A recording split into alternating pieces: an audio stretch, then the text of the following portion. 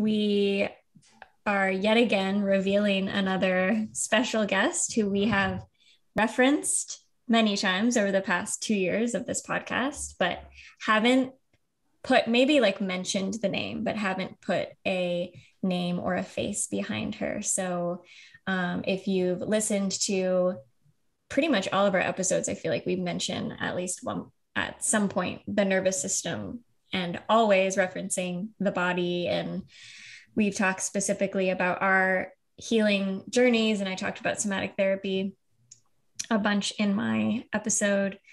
Um, and we're just so grateful to actually be in relationship with a lot of these healers that have really impacted us along the way. Um, and so we're so happy to have um, my somatic therapist on today, Eleanor from Baltimore. And Eleanor, we'd love for you to introduce yourself, anything that feels relevant and the work that you do um, in the world to our audience. Hi, everybody. Wow, what what an honor to live into. I had no idea I was being spoken to about into the world for a few years, but so nice to virtually be with you all. Um, so I am a somatic therapist We'll talk more later about what that means, I'm sure. And some of the things I do in the world are I founded Bodywise Institute, which is a professional development institute. We offer trauma trainings for folks on the front line, like nurses and school teachers, social workers, massage therapists, yoga teachers, and all of our trainings are nervous system informed. We explore all of the education through the body. So we're using all body based preventative and interventions. And it's a really culturally informed container. So we have a, a huge component on social justice and systemic oppression and the role that we hold as a leader in that conversation around power and privilege have some really amazing faculty members, all of whom I wish like I could be when I grow up. I feel so inspired. I get to work with them. And then pretty quickly, it became clear that the folks who need access the most are the folks that have the least access. And so we founded Bodywise Foundation shortly thereafter. And we've done a lot of very cool projects. Um, in fact, before the pandemic, we were running research on trauma informed yoga. The VA was funding it. We lost it during the pandemic. These things happen, but we do a lot of work with the nonprofit at the access point of social justice and trauma. And it's very, very, very rewarding. And then part of the week, I'm in private practice as a somatic therapist. So that's a little bit about me professionally. And I have a feeling some personal flavors will start to come up throughout the episode, and we'll just let that happen organically. But, ladies, thank you so much for having me here in the space. I'm so excited to be here. Welcome to The Fifth Element, a podcast for people seeking intimate connection with their innermost self through holistic healing, cosmic consciousness, and radical rebirth. We hope each episode is an opportunity for listeners to join the collective journey towards intuition and integration.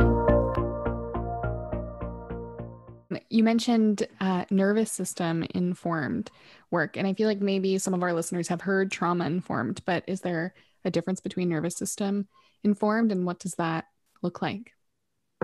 Yeah, it's a great question. And so, first, I think it's really critical we acknowledge that trauma theory is trauma theory. It's an incredibly new field and one that we are still growing our understanding in. In fact, the word trauma was only coined in 1980. That wasn't that long ago. And we know that in Western science, in most hospital settings, after there's a discovery, it takes about a decade before it's integrated. So, for example, one of my best friends is a GI and an attending at Hopkins, and he doesn't need to take any nutrition classes. So, the reason I name this is it's trauma theory, not trauma fact. This is an evolving conversation. And every week, we understand more and more about what trauma is and what that means. And I think that the concept of trauma everyone's going to interpret that word with their own pre-existing experience but everybody has a nervous system.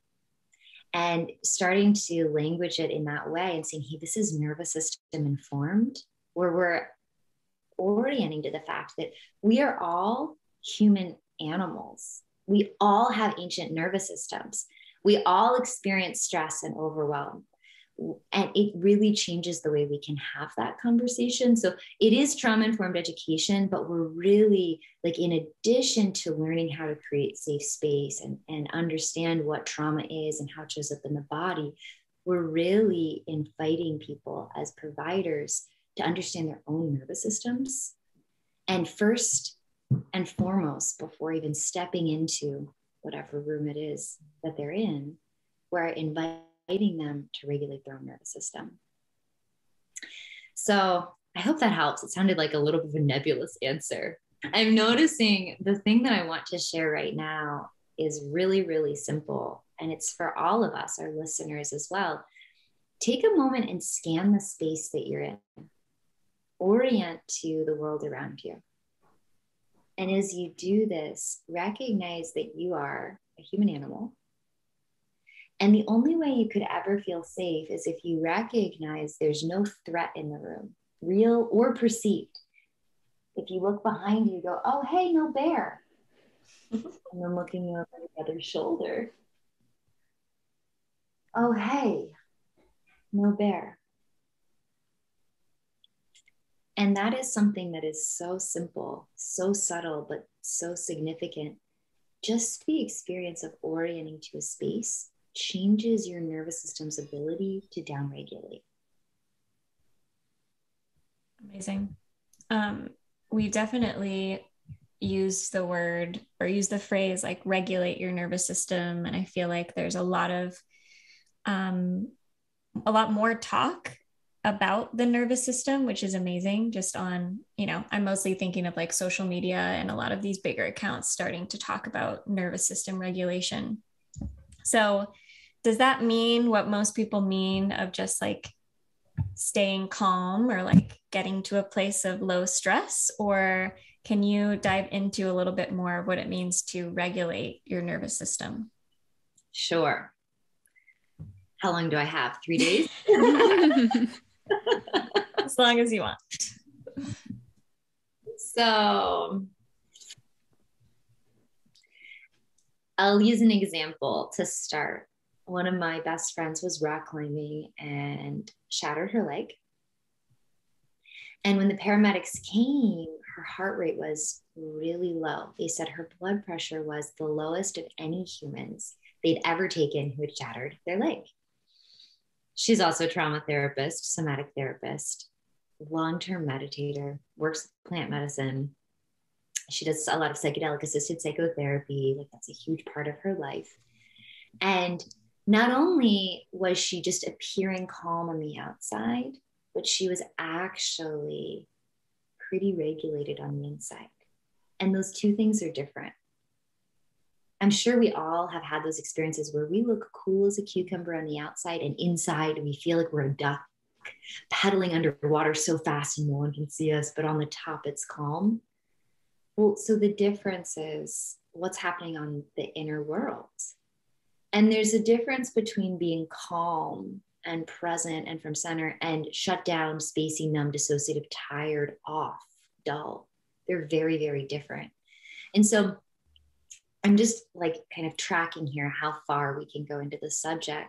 It sounds like we've we've started exploring polyvagal theory here, like what is the nervous system? And most people in our culture now have a concept of okay, there's there's rest digest and there's sympathetic fight flight. But the nervous system is more complicated than that. We've discovered that there's this place called ventral that is safe at ease at rest present right? There's this the place where we can play where where we can engage in learning things learning new languages. This is a place where executive function is available where our resources are here and let's say we were in that state and we were walking through the woods and we heard this loud sound. So we would immediately need to go into a sympathetic fight flight state. So we would startle and then, oh, guess what? We would orient. Our bodies would flood with hormones like norepinephrine and cortisol. Our pupils would dilate, heart would change. So we could run or we could fight and we would be in this sympathetic state. Or if we discovered that fighting and flighting wasn't a viable option, like if the tree was about to fall on us, we would go into the dorsal branch, which is the complete shutdown, sort of immobilization branch. So we have these three nervous system branches the shutdown, immobilized, collapse, I can't. We have the sympathetic fight, flight, activation, mobilized. And then we have the ventral. We have the regulated, the at ease, the um, like present and able to respond to reality. So those are sort of the three tiers of the autonomic nervous system in a, in a nutshell. And there are people who live in sympathetic all the time, like they live there and they appear regulated, they appear together. And what they're doing, like they're in that sympathetic state all the time to function, they put the brake on top of it. So they have the gas and the brake on all the time. This is called a faux window of tolerance or a fake window of tolerance. They look like they're in their window of tolerance, but they're not. They've maybe never even been in one. And so those people, there's a lot like I work with someone who was a Supreme Court person, looked regulated as all get out, highly functioning, very dynamic. No one knew this about her. Every two months, she would just completely crash and burn and need to go away for the weekend and just collapse. So she looked really regulated from the outside, but biologically, her system, the cost of doing business was extraordinarily high.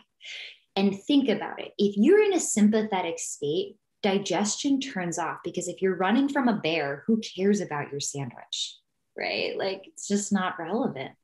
And so, if her system is always in that state of activation, and to manage it, she kind of puts the brake on top of it, all kinds of biological processes aren't able to happen cellular repair digestion there's so many things and so there's a difference between looking like you're crushing it and highly functioning and deep regulation and health and nervous system plasticity and a window of tolerance that, that is quite wide where you can manage the stress of everyday life and stay in that ventral state does that help answer the question yeah, to me it does. And I was I was mostly thinking about that concept of plasticity too, of and it goes with that window of tolerance idea that it doesn't mean you like regulating your nervous system doesn't mean you have to shut yourself off from all stress so that you're always regulated and calm, but really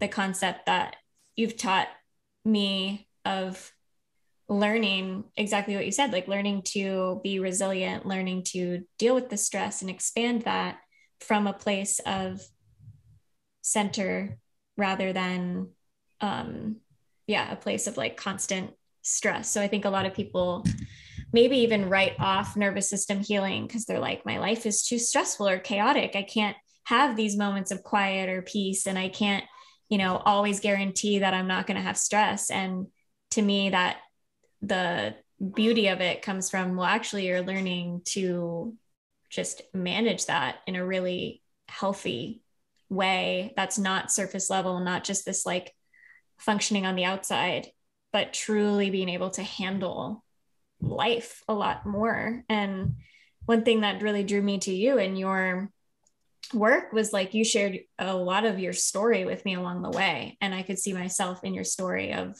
um, you know, me not even knowing what I was feeling when I first met you. And now, you know, I can, when I'm experiencing a physical symptom or even like an emotion, I can, I can track where it is in my body. And that has been such a gift. But, um, I guess my next question for you would be like, how did you find this world and this path?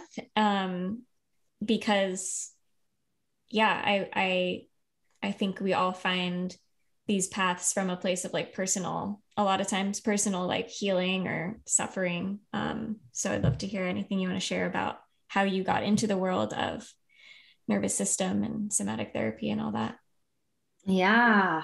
Well i think that's exactly right. We teach what it is we need and it shapes us and grows us and stretches us in ways that we need.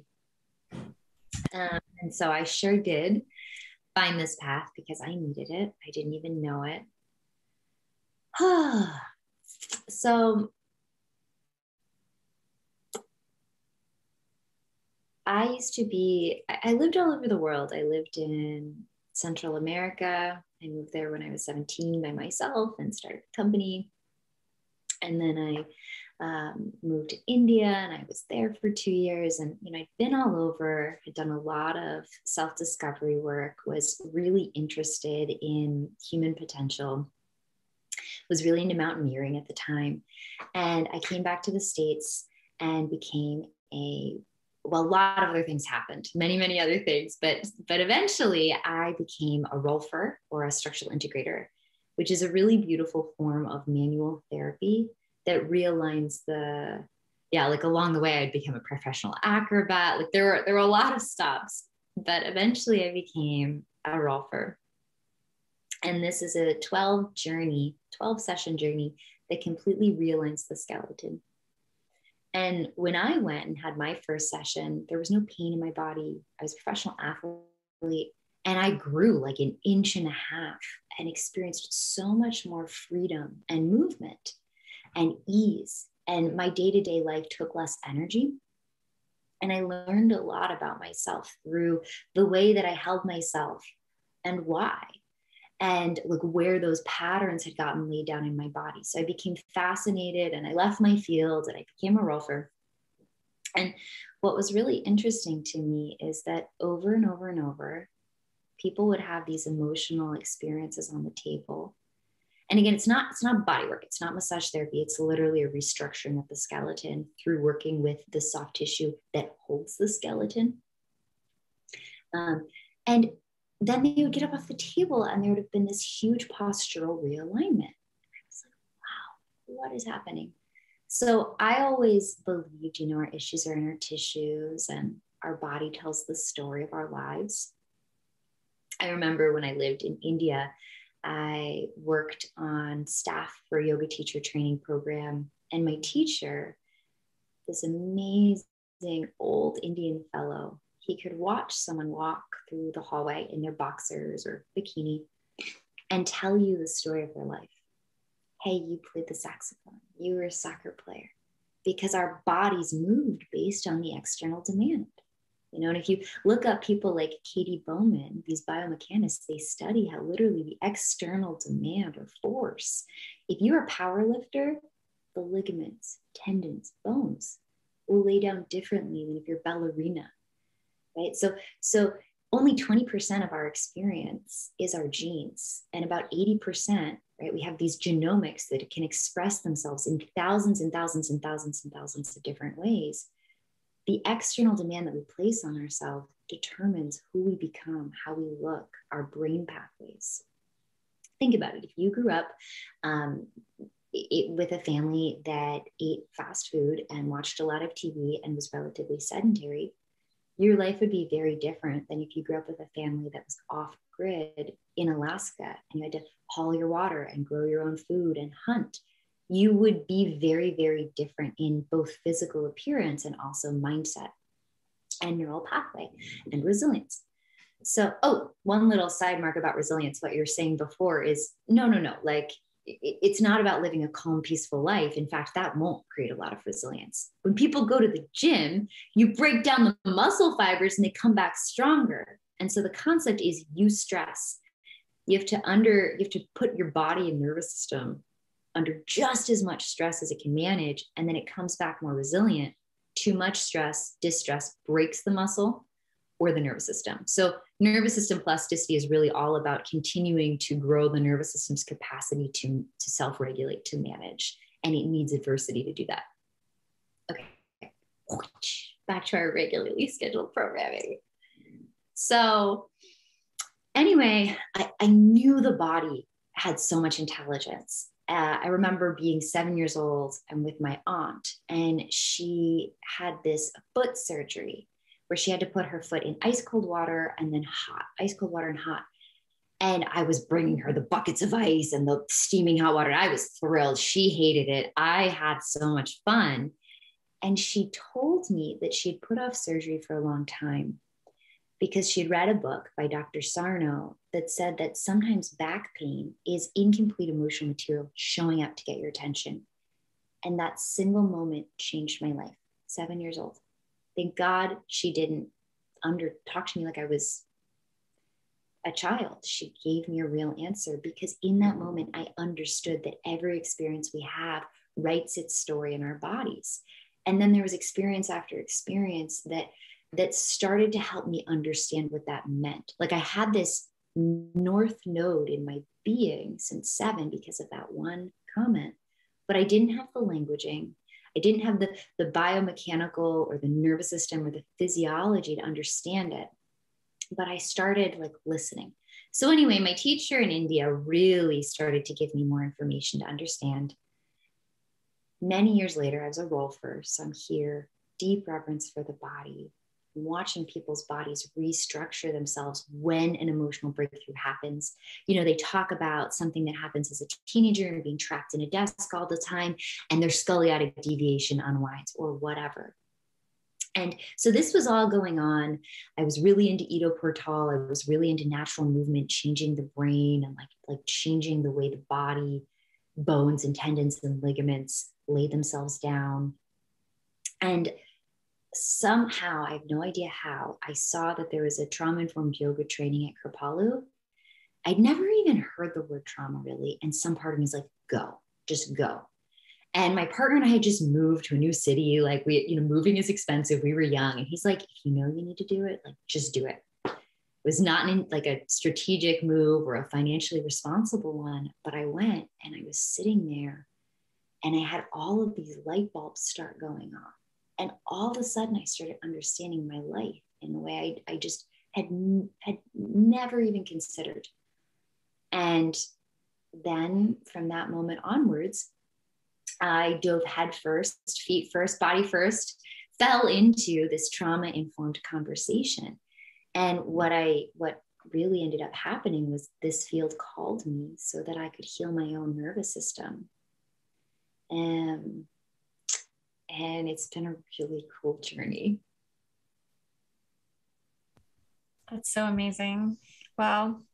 Um, did you experience somatic therapy before becoming a somatic therapist yourself and maybe even getting into what even is somatic therapy like how do these things get applied in sessions yeah no i had never had a, a session in somatic therapy before wow. i went so when i saw the trauma informed yoga training at kripalu like I, I simply just knew i needed to go i had this deep knowing I had no idea what trauma even meant.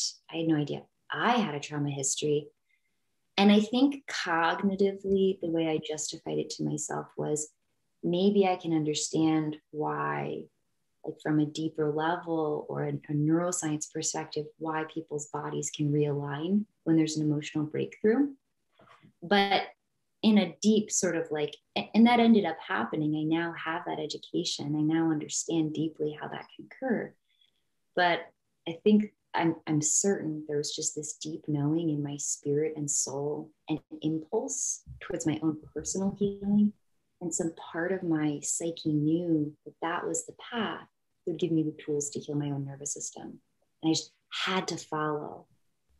I think that longing is often the start of many great things, or those little seeds of understanding and knowing all of the sudden one will germinate in our being and we can choose to follow that knowing without knowing why or we can you know put it out and forever live a diminished life one that's not the life we're here to live and so since that moment whenever i have those experiences of knowing that kind of just like like there is no reason I follow it and I won't let anything stop me because it has always led me to where I'm supposed to be. And so after the trauma informed yoga training, um, then I continued my, my training and I did a three year training with Dr. Peter Levine in somatic experiencing. And since then, I've done years and years and thousands and thousands of hours of trainings on many things that relate to the body's wisdom. The way you're describing um, the body's knowing and also just like your own response to this work and coming to it um, is just what we our favorite thing to talk about on the podcast, which is intuition um, and just trusting that. Um, and you know, it's hard to kind of like quantify what intuition is um, to people, uh, but and I don't think we necessarily need to, but this connection to just like what resonates in your body, what do you just like know in your bones? What does the ancient wisdom of like your fascia and the way that your body responds to things like is such an easy entrance point into connecting with that sense of inner knowing. Um, just yesterday, I was thinking about like the subconscious mind, and I was I wrote down I was like, is it the subconscious mind or is it the conscious body? Ooh. Kind of like guides and directs us. Oh, Keighlee, that's amazing. wow yeah when you're describing the like impulse to follow it's like reminding me of in somatic therapy sessions you're guiding us to follow the impulse of our actual body. So you can i'm like doing this with my hands right now and if you were watching me you'd be like you know keep doing that. Like what does that want what do you want to do with that and where is that leading you? And yeah there's so much insight that we that doesn't lie um, from from our body from our tissues. Um so what would you how would you describe what goes on in a session to somebody? And you know i feel like i've tried to explain to people and i'm like i don't know. It's just you learn about to me it's been a lot of learning about my body learning about my responses becoming aware so that I can notice, like, oh, yeah, I'm tensing up in this moment, or I'm wanting to walk away, or just like becoming more aware of my instincts. Um, and then, you know, becoming more aware of how I can communicate with my body. Um, but you, it's in such a skillful way. Like a lot of the time, I feel I have felt like this session was a lot of orienting around the room, a lot of breathing, a lot of going inward. And yet at the end of it, I'm like, wait, I just feel like I, you know, solved this big mystery about some way I was feeling or really went back into places that talk therapy had never really brought me to. And I kind of didn't even realize how I got there. Um, so what are some of the things that that you do in a session um, with people that get them to those groundbreaking places. Mm, yeah. Well, I can share about what I do, and there's a lot of different forms of somatic therapy, and I think that that's that's important just to denote here. Um, and there are many different pathways to becoming a somatic therapist. So my pathway was a three-year training, but I did not go through graduate level mental health clinical training on purpose because there's a lot of jurisdiction around what you can and cannot do with your clients. And so I chose a different pathway. But within each scope or each orientation or each pathway, all of these different trainings, Pat Ogden, you know, Peter Levine, um, alchemical alignment, they're, they're all understanding that the nervous system is in the body. And there's research now, Dr. Kathy Kain and Dr. Stephen Terrell have a book called Nurturing Resilience and quite a few different trainings. They specialize in developmental trauma and they do all of it as a nonverbal process of healing and um, it's actually incredible. Like their trainings blow my freaking mind. They can rewire the brain stem. They can rewire the attachment system. They can change the nervous system. They can increase resilience like increase vagal tone all non-verbally through touch. But in one of their trainings, they spoke to a research study where they had a clinical mental health provider offer an intervention and offer the same intervention with skillful, safe, intentional touch. And the outcomes were much better through touch because there is a language in our body that predates the verbal. You know, even people who are very, very verbally precocious, there's still a way that communication is happening before that. And research has been showing for many decades that only about 7% of communication is verbal. Most of it is happening in the subtle micro and macro expressions of the body movement and vocal prosody. So when we have a feeling or an emotion, they're not ideas either. Those are also things that are happening here in, in our bodies. Like anger is a surge of heat or the contraction of gut or the bracing of the muscles. It's not, hey, I'm angry and that's an idea. When you think a thought that makes you angry or hear or see something, the body floods in these hormones. There's this neuropeptide surge. And all of those sensations, like that is what makes up anger. And people who have left their body, who've dissociated, dissociation is when we leave the body because the body can't move, they might have that surge of hormones. And then the brain recognizes that surge of hormones, and then they get another thought about being angry, and then they flood with more hormones, and you can be on this, this sort of hamster loop for 20, 30, 50 years and be completely cut off from the neck down and not feeling any of it. But it inhibit it, it will reorient every thought you have. What's happening in the body is your doorway to present moment reality. And so, just like anger isn't an idea, terror, overwhelm, aliveness, vitality, connection, joy, those are all chemical markers that are happening in the body too. And if we're not able to feel what's happening in our bodies, right, all of those things are still happening. We are still living through this body. We're just literally like unable to access it. It's like we're not able to access our home. And being disembodied is a profound found of trauma. It's incredibly vulnerable. So, in a session with me, a, a huge part of what we do is we relearn the language of the body. And if we left the body because the body was too unsafe to be in, then we do that in a very slow, titrated, safe way back. And as we start regaining access to the body, then we start teaching ourselves how to regulate the nervous system. So when the nervous system starts to get activated, we're like, oh, that's okay. And we can come back to baseline. When the nervous system starts shutting down or going into that kind of collapse mode, it's like, that's okay too. And we can come back to baseline. And we just start teaching these cycles of activation, deactivation that increasingly get larger and larger so that outside of the office, the client's nervous system is able to self regulate. Like autonomically in their day to day living. They, they no longer have to think about it. Their systems are starting to self regulate. And then, depending on their lives, we, we might go back and renegotiate past trauma. And they might know what the trauma was. Like they might be like, hey, there was a surgery or a car accident or horrendous assault. But they might also not know. And that's okay. The body remembers.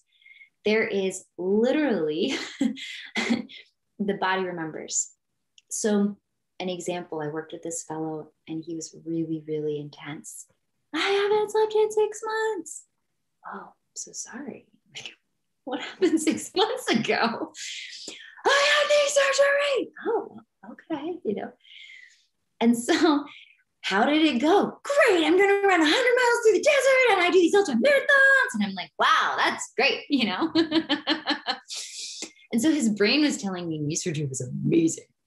But his body was telling me that knee surgery was threatening because every time he talked about knee surgery, his pupils dilated and his heart rate went up.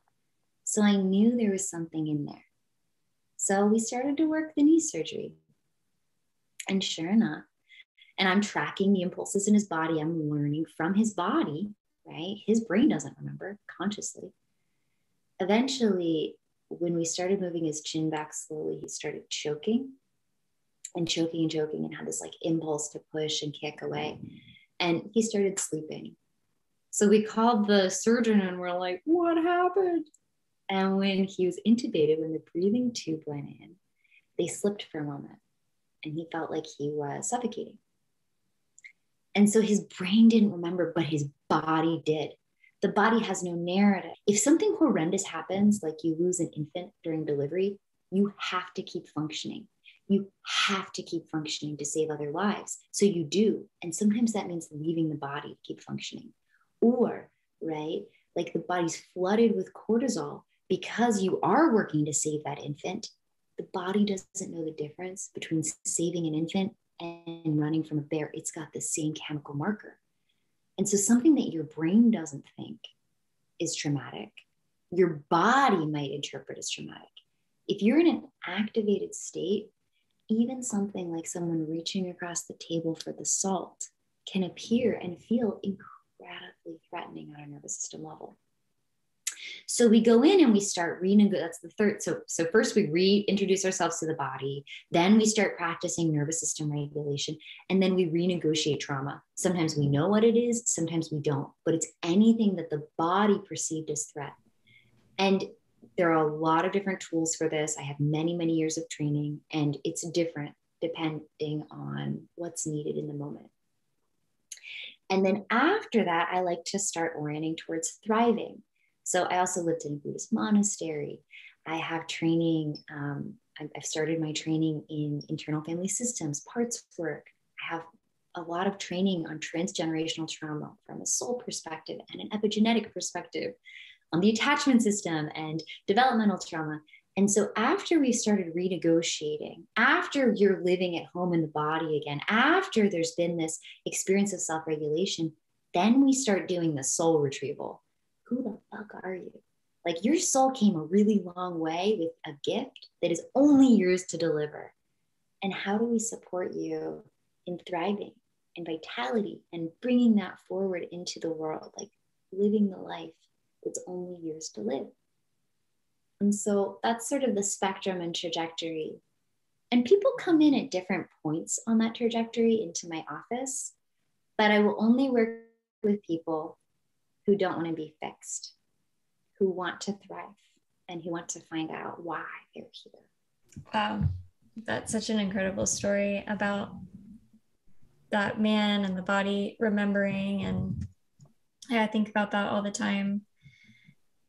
Just that concept of even if I don't know what's going on and I don't know if there's a story there, but I I can now get to a place where I can, um, you know, like hit a pillow or turn the lights off and just do some like shaking or something and then see what my body wants to do instead of like kind of having all these stories about, oh, I should or I shouldn't feel this way because there's no reason to. It's kind of just this theme that we've been talking about on the podcast this season of like your body not lying your body always trying to like orient you towards what is and you said this like what is in in the moment and what's here for us to like work with. So that's such a great example of how this type of therapy can be really beneficial even if you don't think there's anything you need to talk about or like there's anything that you need to deal with. Um, especially if you're someone that's having like recurring physical symptoms or like chronic pain, like that's always whenever anyone's coming to me with that sort of stuff, I'm like, I think you should go for somatic therapy first and foremost because there's something there that, yeah, maybe you can't track it in your mind, but that is such an easy entryway for this type of therapy. And can you think of anyone else, if not everyone, who this type of therapy would benefit? shout them out so that if they hear and they're like, that's me, and we'll put the link to the SE practitioner training. I feel like I'm always telling people start there, but um, yeah, who do you think this this work would benefit in this type of therapy?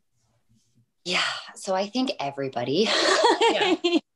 because our nervous systems learn how to self regulate. We're not born with the ventral part of our vagus nerve myelinated. And so, if our caregiver is not self regulating their nervous system while they're holding us, we don't have that full range and capacity. So, no matter how good your life is, if you want it to be better, do nervous system work. Like, mm-hmm. but if you're noticing that there are reoccurring things in your life that are challenging, it might point to the nervous system. For example, people who are binge eating often, that is from a nervous system perspective an unconscious, valiant attempt to downregulate the nervous system. You are f- manually forcing the nervous system into a more parasympathetic rest digest, right? So when we see things like binge eating or anorexic behavior, sleeping all the time, not being able to sleep, feeling a lot of anxiety, bracing muscles, racing thoughts, hypervigilance, feeling a lot of flat affect, lethargy, collapsed, shut down energy, brain fog, spaciness. Um, whenever there's substance abuse disorder, that is an indicator that there's nervous system dysregulation. Dr. Gabor Mate, a pioneer in the field, he has the highest success rate with heroin addicts. And he doesn't take the heroin away. He gives them tools to self regulate the nervous system. Heroin's just a symptom, it's not the problem. And in fact, they aren't heroin addicts, they're people doing heroin behavior. That person isn't an anorexic, they're doing anorexic behavior out of an unconscious attempt to self regulate. If someone works out all the time, if someone is the VP of New Balance, from a nervous system perspective, heroin is the same as being a like overly functioning executive. Right. From a nervous system perspective, explosive rage and depression are the same thing. Wow. So if you find yourself scrolling on your phone all the time, if you find yourself um, using humor when you feel uncomfortable or getting angry when you feel uncomfortable or people pleasing is actually a part of the dorsal nervous system. It's a survival strategy. Isn't that wild? Right those are all things that might suggest you would grow immensely from some nervous system informed support. Yeah. Yeah. So that is everyone, pretty much. that sounds just yeah. like anything that's like compulsively done. Is that like the overarching? Well, I mean, some of that's not compulsive either, right? Like, for example, some people using humor. I, I'm just thinking. I guess it's kind of like responses, like in our responses, trauma responses, I guess, would look different whether we're using shopping or drugs or people or our phones. Versus, right. Yeah. Versus, I mean, maybe even painting the picture of like what what your life looks like when you do implement this stuff like maybe that would paint a picture as well for people of that potential on the other side what your life can feel like. Sure and that'll feel different from everyone. But for example like if someone's having trouble sleeping that might not be a compulsive behavior. If there's chronic pain or autoimmune or gi issues gi issues are a huge trauma symptom um, we're actually going to do a webinar that teaches about this, but there's something called the gut brain axis that connects the enteric nervous system to the brain.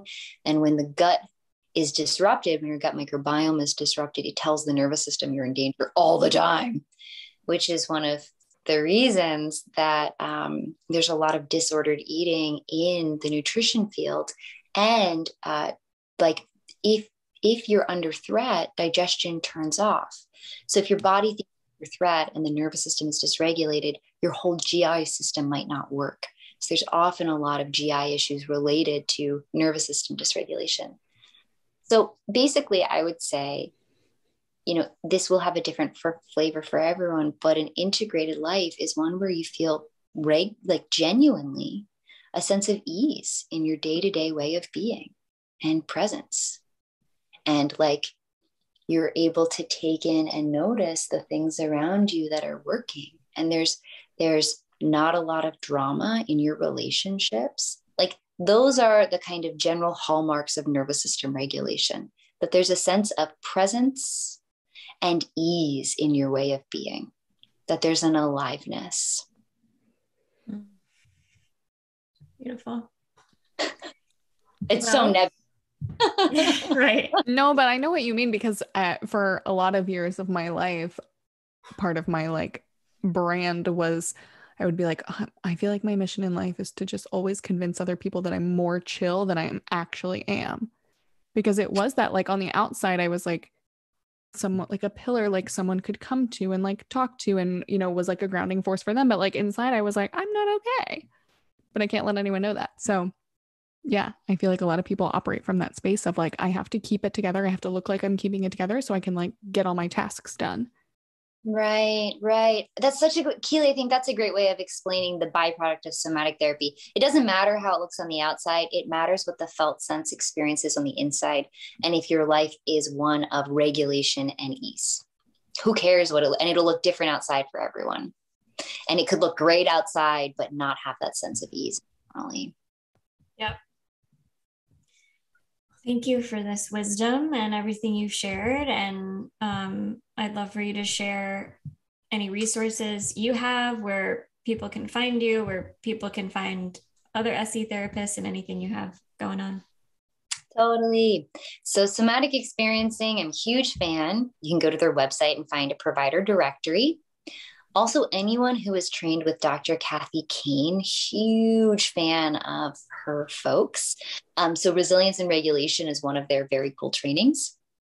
Craniosacral providers are very good at helping regulate the nervous system, but don't pick someone that just did their first training. Pick someone who like lives and breathes craniosacral and has gone back for repeated education. So those are resources that are really helpful for you. Um, I do have a private practice. I tend to be waitlisted, but my graduation rate is high. So you're always welcome to reach out to me. Bodywise Institute, um, come on over. We offer a lot of free resources. Every other month, we run a, a webinar called Resilient AF, and each time it's on something different. We give people tools to build resiliency and neuroplasticity and to thrive. And when you sign up for one, then you'll have a link to the archive where we put all of them. So there's these like master classes. Um, we just started this, but they're they're being attended more and more and more. So we're going to keep doing it and bring in other experts.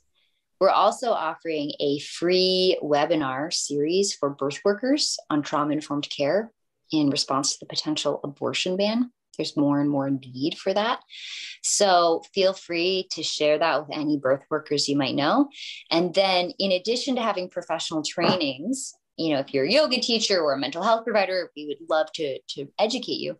We are also putting out at the end of this year a 12 module thriving course for people who want to learn about their nervous system and to grow and have a deep, like, inner journey um, that is not related to their profession. Great. Thank you. We'll include all wow, of those. So many gifts. Yeah. yeah. Anything else you want to share, or do you feel complete? That's everything. Thanks so much for having me, ladies. Thank you. This is so awesome.